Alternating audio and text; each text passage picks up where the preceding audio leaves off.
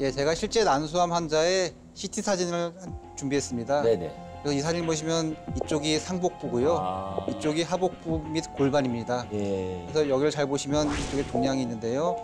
실제 저희 난소는요, 예, 젊은 사람들이 조금 큰데 저- 대략 한 밤투르만 하거든요. 그래서 한, 한 요, 요 정도 된다. 한 엄지손가락 한 마디, 한 마디. 아니면 두 마디 예. 이 정도가 되고요. 나이가 들수록 조금씩 줄어듭니다. 줄- 근데 이분은 보시면은 이 골반에 지금 종양이 이쪽은 오른쪽 난소, 이쪽은 조금 더 작은데 왼쪽 난소에도 이만한 종양이 있습니다. 아, 밤톨만한 난소가 지금 이렇게 커진 거군요. 네, 그래서 실제로는 오른쪽 나서는 지금 한 주먹만한 혹이 있는 거고요. 그리고 이 그런 거는 안에 복수가 차 있는 상태고요.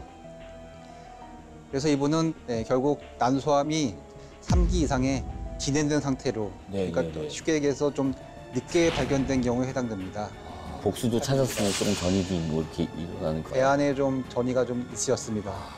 네, 사실 난소암은 네. 여성암 중에서 발생률 자체는 낮은 축에 속합니다. 오. 그렇지만 이게 문제가 3기 이상의 지- 진행된 상태에서 발견되는 경우가 좀 많거든요. 그래서 실제로 저희 나라 2019년 통계를 보면은 난소암으로 진단됐을 당시에 이미 3기 이상으로 진단된 경우가 약 50% 정도였습니다.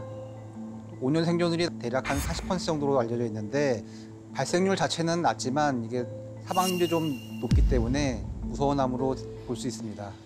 다른 암에 비해서 늦게 발견되는 어떤 이유가 있을까요? 일단 난소암이 뚜렷한 증상이 없습니다. 대부분 증상들이 소화기계 질환들과 비슷합니다.